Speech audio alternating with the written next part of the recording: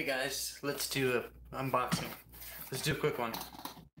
Alright, so this is my first Reverb purchase. Um, I've made a couple sales on Reverb, but it's the first time I'm buying something.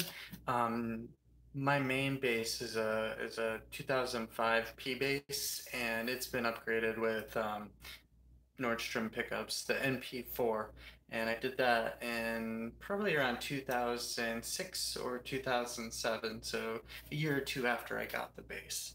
Um, my backup is a 1995, um, and it came with Seymour Duncan um, quarter pounders, so totally different sound.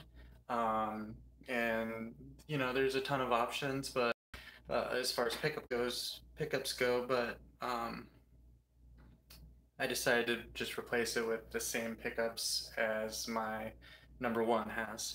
So that would be the NP4. Um, and so I've looked around and I noticed that Nordstrand makes their pickups a little bit different. Nordstrand has like their logo in the pickup cover and it's all just a little bit different. So I wanted to buy used and also save a little bit of money. So a couple of the reasons to buy used because I want it to be exactly like my 2005 bass. Just try not to cut myself. Okay.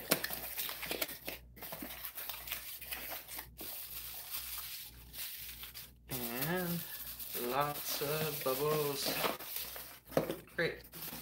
And one thing I noticed right away when I was looking at this online is this looks exactly like the box that my um, original NP4 came in. So that was part of my, or part of the factor that got me to buy this. Anyways.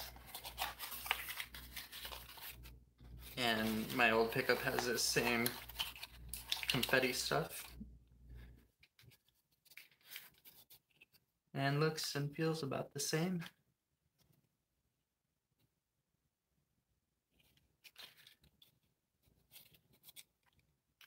All right, well that's it. It's kind of funny because it's hard to uh, hard to tell that these are, you know, what these are exactly. Um,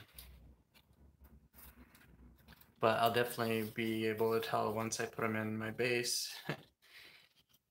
All right, thanks for watching.